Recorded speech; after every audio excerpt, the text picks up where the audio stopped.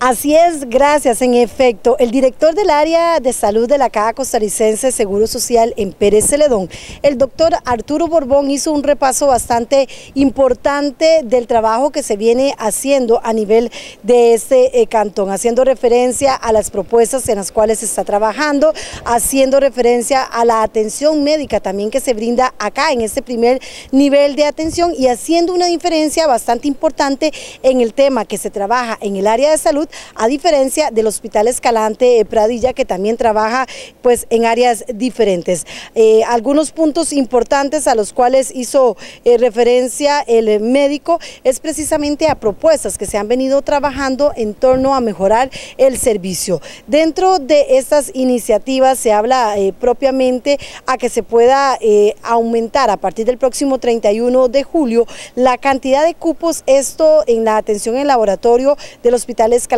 Pradilla. Actualmente el área carece precisamente de un laboratorio clínico, por lo tanto los usuarios de los diferentes CEBAIS y de las casas de salud tienen que ser remitidos hasta este espacio. También dentro de las iniciativas en las cuales se trabaja para mejorar es el tema de los medicamentos. Se está trabajando en un proyecto piloto bastante importante. Igualmente también se trabajan las gestiones con el objetivo de aumentar eh, propiamente lo que son eh, las vespertinas en el, área de salud. Escuchemos parte de lo que dijo el médico. Lo ideal sería que tuviéramos más funcionarios, pero al no tenerlo, ya el funcionario no va a trabajar 8 horas, sino que va a trabajar 10, 12, 13 horas. Y eso lleva un cansancio también y un riesgo, pues, eh, obviamente en el funcionario también y obviamente pues en el cansancio personal.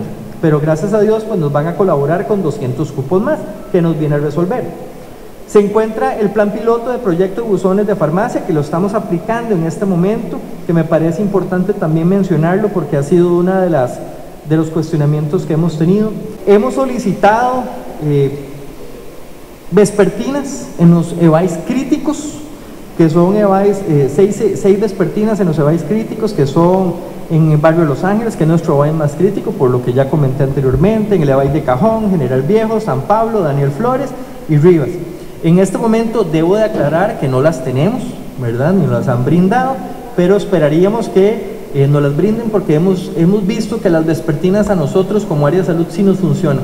Entonces esperaríamos poder eh, que nos brinden las vespertinas, aunque sea paulatinamente, para poder mejorar la atención y la, y la disponibilidad de cupos a, pues a nuestros usuarios en estas localidades. Y es que sin lugar a dudas el tema de la atención, como les mencionaba el médico del área de Pérez León, es una de las más grandes a nivel nacional. Citó, por ejemplo, que solamente en el EVAIS de Villaligia se despacha la cantidad de medicamentos en total, que en este caso abarca el área de salud de Buenos Aires.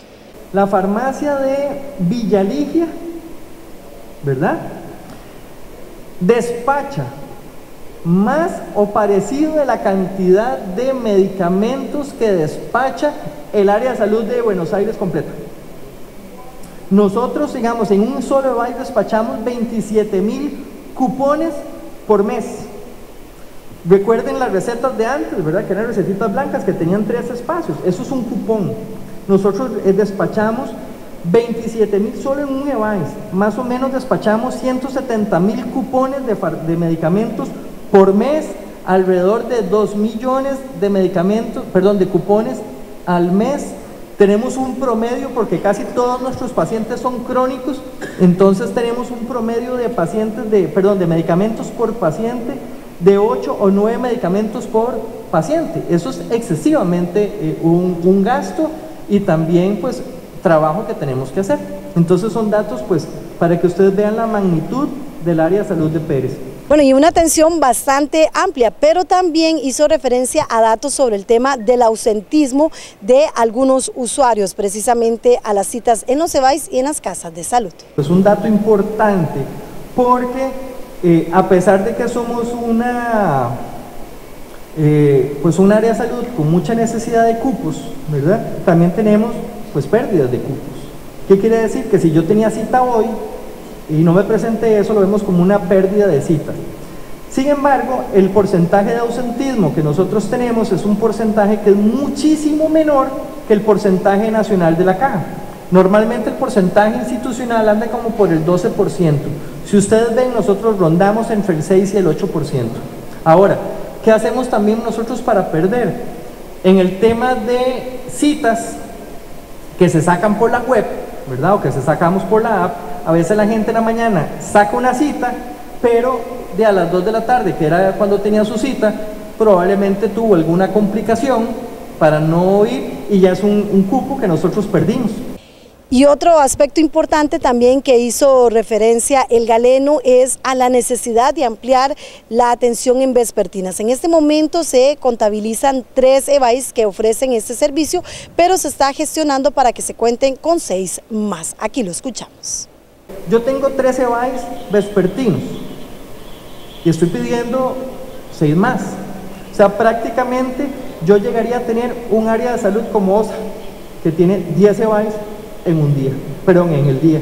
Entonces, ya prácticamente tengo casi el 30% en la noche de lo que tiene el área de salud de OSA. Entonces, Pérez Celedón realmente pues eh, necesita eh, pues un poquito más.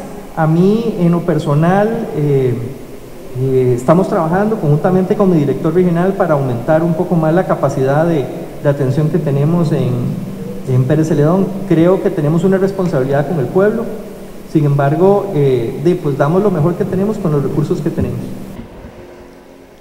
El área de salud de Pérez León tiene una sede administrativa, cuenta con 24 EVAIS distribuidos en 17 sedes con tres consultas vespertinas, tiene 60 casas de visita periódica, sector descubierto de alrededor de un 40%, los EVAIS están en Cajón, San Pedro, La Guaria, San Pablo, San Rafael de Platanares, Pejivalle, Daniel Flores, Los Ángeles, Villaligia, Pavones, General Viejo, Rivas, La Palma, San Andrés, Páramo, Río Nuevo y también también eh, Barú, exactamente. Otro aspecto también al cual hizo referencia es al proyecto de la construcción de una nueva área de salud para Pérez León, una segunda más que eh, se ha venido hablando por parte de las autoridades de la Caja Costarricense Seguro Social, que estaría incluido dentro de un fideicomiso. En ese sentido, se cuenta con el terreno que está ubicado en la comunidad de Tierra Prometida, que había sido eh, donado a la institución, pero ya ese es un proyecto propiamente que se trabaja a nivel de las autoridades centrales